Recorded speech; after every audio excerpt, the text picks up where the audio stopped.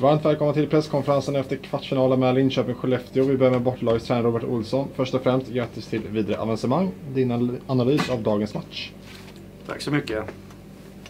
Eh, dagens match vet jag inte. Vi, vi, är glad, ett, vi är jätteglada att ha gått vidare till semifinal. Vi har haft en jättetuff kvartsfinalserie. Det har varit ett bra Linköping vi har mött. Ett eh, Linköping som har skapat mycket och varit offensiva hela tiden ställt väldigt mycket frågor till oss. Så att, eh, de här matcherna har varit så tajta och jag har känt flera gånger att vi har haft puckbouncen som har gjort att vi har vunnit matcherna. Eh, och det är mer det kanske.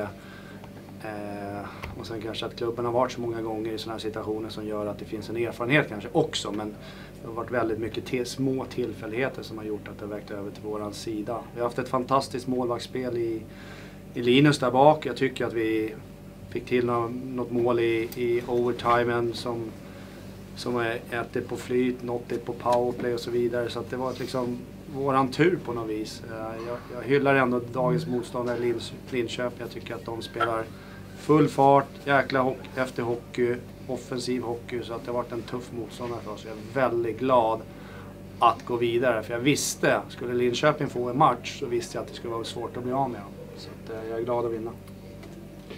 Tack så mycket. Claes Östman, din syn på matchen? Ja, jag vet inte fan. Alltså, jag, eh, jag tycker vi spelar bra. Jag tycker vi har gjort fyra väldigt bra matcher. Jag tror det är svårt att spela så mycket bättre än så här och lyckas förlora med 4-0 i en matchserie. Eh, eh, jag tycker att vi, vi driver på matchen på ett bra sätt. Får fantastisk hjälp av en publik som verkligen bär oss fram. Men den där sista, få pucken över linjen.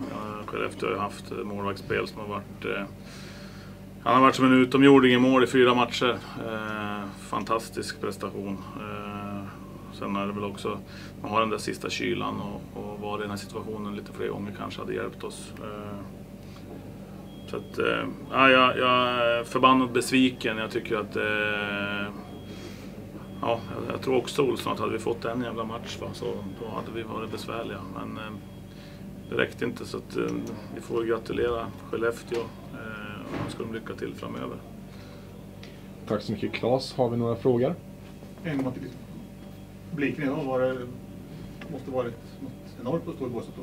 Ja, det är häftigt såklart. Och det, det, även det som händer efter här. Eh, det har inte varit så de sista tio åren här efter sista matchen att folk har stått och eh, hyllat laget utan det har varit andra eh, toner. Så det, det, det är väl klart jättetacksam för det.